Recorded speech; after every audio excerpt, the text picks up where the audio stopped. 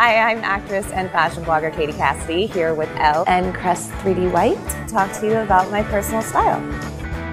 My personal style is interesting. I actually get inspired by men's fashion. I love button downs, I love mixing it up, I love blazers. I try and look at it from a feminine perspective and how I can how that would translate for a woman.